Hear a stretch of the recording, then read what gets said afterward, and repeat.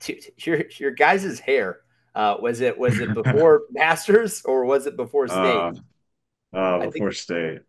Uh, dude, whose idea was that?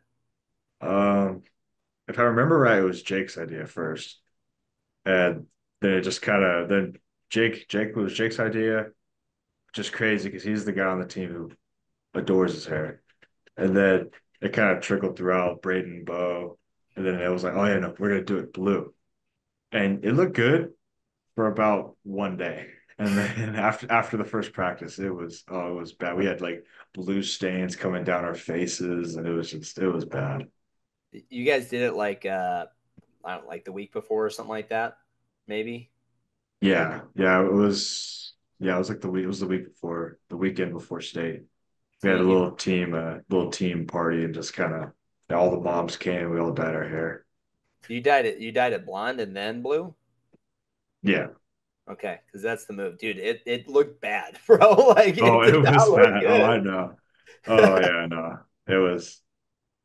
Yeah, I'm never dyeing my hair again because the junior year I tried because the junior year I was like, oh, yeah, because everyone was like, oh yeah, no, we're gonna dye our hair. We're all gonna buzz our hair. No one did nothing, so I decided to go and bleach my hair myself, and it turned into like this pea yellow nastiness. It was horrible. It's I've, hard. I've had, yeah, I've had two years of bad hair. First, you know, the final competition, I'm not doing it again. I mean, I, I feel like uh, with the, with this team and and and how um, again from an outside perspective, and you know, I obviously I, I talk to your coaches and stuff. It seems like you know you guys are pretty close together, um, and a lot of a lot of the guys on the team have been around each other, have been wrestling with each other since they were kids. Um, so it's kind of cool, you know, kind of to see you know out of Bakersfield um, this this team. But I also feel like to some extent there's some pressure, right? Like you guys are, you know, you're not okay with with finishing, you know, six. You're trying to beat Clovis. You're trying to beat, uh, you know, Clovis, or they're trying to, you know, dominate and really establish yourself, um, you know, as one of the the better teams in the state. Uh, do you feel like that was some kind of pressure that was was on you guys at all, or was that something that you guys weren't even thinking about? Um, I mean, I guess there was a pressure, but it was a pressure that we put on ourselves. Um, it wasn't.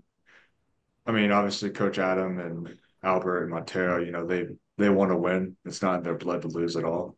And but I feel like uh, because we've all you know grown up with one another and been wrestling with one another for so long, it's like we know that we're good enough to beat these guys, and we know that as long as we keep keep to our training, that we can beat them. And so it's just it was because every year uh, Coach Ad would always ask us, "What's our goal as a team?" And every year it was always to win a state title, and we would come up with that ourselves and tell them that. And so it, there was a pressure, but it was definitely placed on us by us.